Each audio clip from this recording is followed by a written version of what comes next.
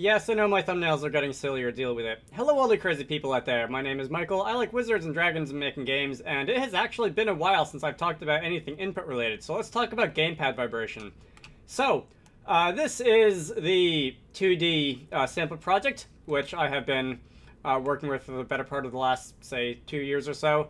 Um, I've edited it so that when edited, that's hard. I've modified it so that once you uh, you walk into one of these dog guys, um, you, uh, you take a bit of damage and do a little bit of flashing for a couple seconds. And uh, today, in this video, I'm going to be implementing gamepad vibration, and I died. Alright, that's great. Let's, uh, let's close this. So, uh, the code is... I mean, as far as implementing damage goes, it's pretty much as simple as it gets. So if you uh, contact one of the NPCs, you'll go into the hit state, uh, you'll stay there for one second, and you lose an HP. If you lose all your HP, you die. Uh, that's usually how you know, HP works. So let's talk about gamepad vibration. So GameMaker has a handful of, um, uh, of vibration functions built in. Maybe it's just one.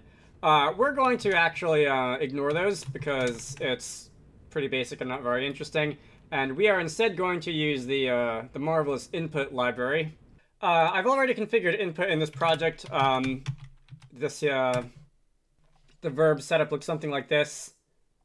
Uh, let's see. And um, I'm going to assume that you are uh, familiar with how to set that up. If you're not familiar with how to set up the input library, I'm going to recommend the, uh, the introductory video that I made on that because we're going to be using it here. So there's a couple of... Uh, there's a couple different input vibration related functions that you might want to use. The, I suppose, simplest one is going to be input vibrate constant, and that is going to enable a constant vibration for a certain amount of time. Uh, if you want some more fancy uh, vibration modes, there's also input, vibrate, um, where is it, pulse. Uh, this is one I'm personally a fan of. Uh, that will do a, um, a pulse-like vibration, which follows an intensity curve sort of like this. Uh, there's input, vibrate, uh, what's the next one I wanted to talk about? Curve. So that will follow a GameMaker animation curve. You can have some fun with that. I'll play around with that later in the video. And uh, lastly, input vibrate ASDR. Uh, ASDR is a scary sounding acronym that stands for attack, decay, sustain, and release. Uh, that is a, uh, concept which I believe is taken from audio design, and it allows you to define a, um, a vibration intensity curve that looks sort of like this. I will get into that later. Uh, let's see, I suppose first might as well start off with a um, little demonstration of input vibrate constant how this works. Uh, you can set a strength or an intensity from 0 to 1. Uh, I'm going to go with 1. Uh, you can pan your vibration left to right. So again, um, that's the same way that you might do with audio. Panning audio uh, left to right on one speaker or the other. Um, I'm going to set that to 0. Uh, 0 is the middle. Minus 1 is going to be to the left. Positive 1 is going to be to the right. And we have the duration argument. So this can be one of two things. Um, by default, I believe input timings are set to be um, defined in frames. I personally think this is a little bit awkward, so if you want your vibration to last for one second at 60 frames per second, you can enter 60 frames as your duration. Um, if you would prefer to do your timings in seconds, or at least seconds adjacent units like I usually do, uh, the input timer milliseconds macro uh, this is a configuration macro, which can be found in the input config general code file. Um, you can set this to true to have your timings and input work, uh, both for vibrations and just elsewhere um, in input when it comes to timings. Um, you can have it uh, use milliseconds as its timing um, measurement instead of frames. Uh, I'm going to set that to true because I just, I, I like it better like that. Generally recommended. Um, let's see, so I'm going to get rid of that. I'm going to set my duration to now 1000 because we're going to want, um, you know, 1000 milliseconds equals one second. Uh, the two optional arguments to pretty much all of the input vibration um, functions are the player index. If you have more than one player and you want to handle uh, gamepad vibration for a specific player, you can set the player index. And uh, there's also a force argument, which you can use to force a gamepad vibration if um, you have input vibration disabled. I hopefully will remember to uh, maybe suggest some situations where that might actually be useful later. Anyway, I'm going to run the game now. Uh, I am going to um, walk around. Uh, let me get this cat cat cursor off my screen. Uh, if I if I walk into you, my gamepad is vibrating. Uh, I don't know if you can really hear it doing that. Um, let's see. Can I put this uh, like down on my desk without it completely sounding terrible? Let me find something to um, like a book or something for me to put this down on. Okay, hopefully if I put the gamepad down on like a notebook or something, you'll be able to hear it vibrating without it sounding completely terrible. Alright, and I died.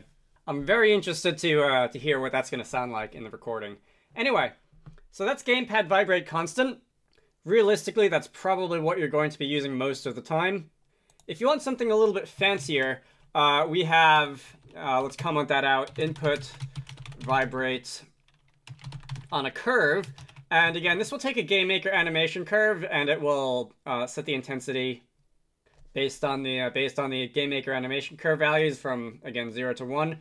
Um, I don't even remember why I have these in this project, but um, I do have two animation curves ready to go in this project. Um, animation curve cubic in out and animation curve elastic in out. I'm going to, um, realistically, I don't know if I'm going to be able to communicate subtle variations in the intensity of, um, of gamepad vibration uh, in, in video form it's really something that it helps to have in your hands, like physically, if you want to be able to get the full effect of. But I'm going to go make a little example of animation curve cubic in out. Um, let's see, the arguments to this are going to be uh, the uh, the maximum intensity is going to be a 1. Uh, the curve, AC cubic in out. Uh, the other two arguments are the same, so the panning, I'm gonna I'm gonna just center that, make it zero, and the duration, um, you know what? Let's make this last for two seconds. Um, let's have this uh, these iframes last for two seconds instead of one second. Uh, that might be a little bit more helpful. And then, of course, we have the optional player index and force vibration values, uh, should you want them. So let's run the game now.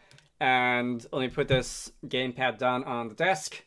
And if I walk into you, okay, fine, I need to click on the game window. If I walk into you, Alright, and for whatever reason, input disengaged there for a minute. But anyway, if I walk into you... Uh, did you hear that? Vibration getting more intense over time? This is such a weird video. Anyway, uh, that's how you might use an animation curve uh, with input vibration. Not sure if that's something that you're going to be using all the time, but it is cool that it exists. Lastly, and I'm going to comment out both of these here, but uh, let me go over up a few lines to uh, when the player actually dies. And um, I'm going to demonstrate an input pulse when the player dies. And uh, I'm going to leave these two down here disabled, uh, commented out, so that, well, since I'm primarily demonstrating this through sound, uh, I don't want the potential for these to be like a distraction. Anyway, uh, Pulse is going to fire off a series of um, pulses in vibration. So it's going to start and stop vibrating not just once but a, um, a number of times in series. So let me set the strength to zero, the pan to zero, or the strength to one, the pan to zero rather.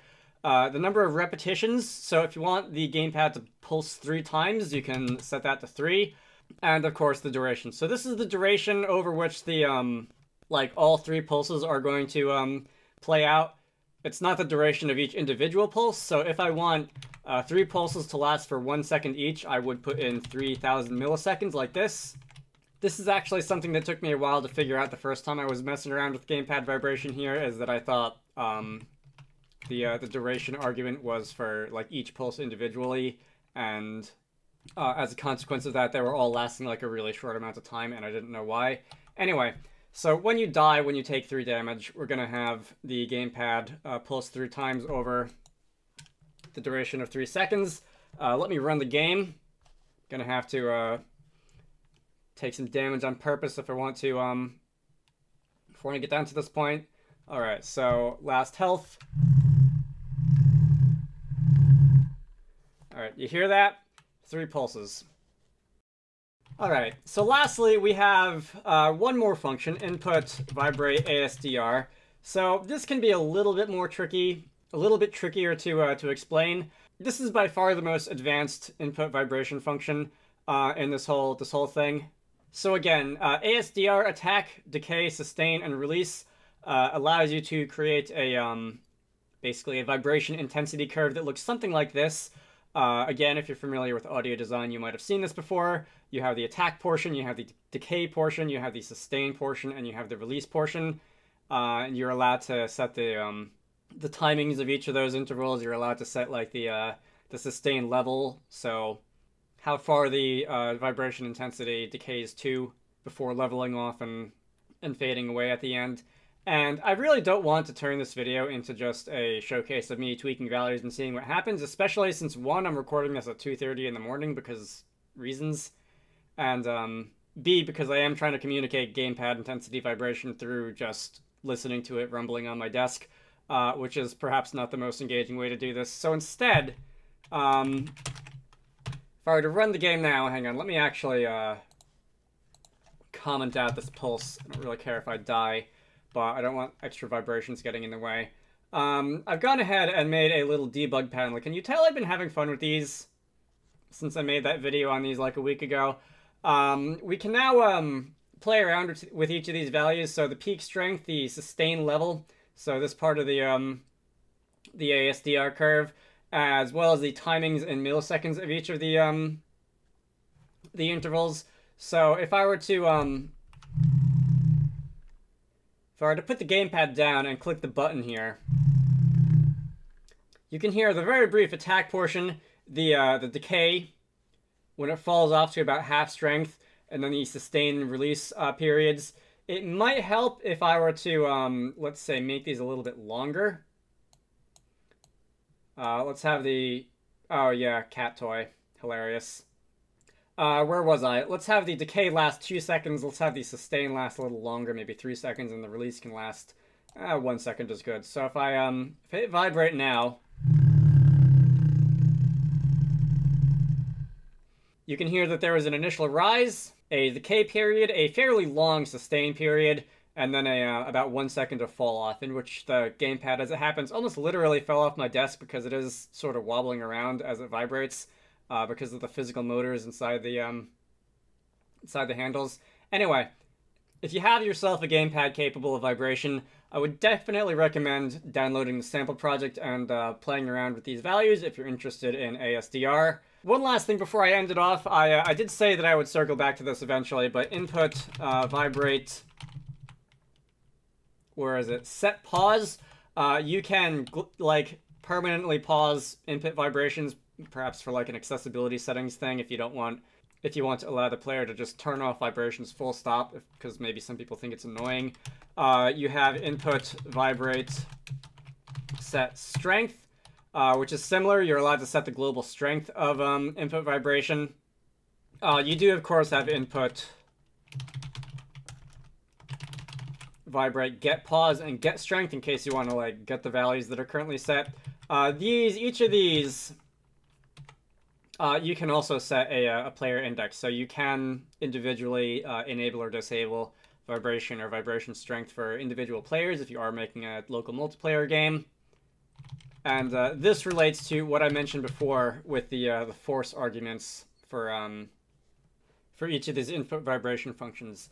Uh, and admittedly, the only reason I can actually think that you'd want to do that is if you are creating a settings menu itself and you want to like force the gamepad to vibrate so that like the player can feel what it feels like right there in the menu, uh, regardless of what the current setting is. And uh, I can't really think of many other situations where you would want to do that, because usually when the player turns off gamepad vibration, they want it to stay off, but maybe you can think of one.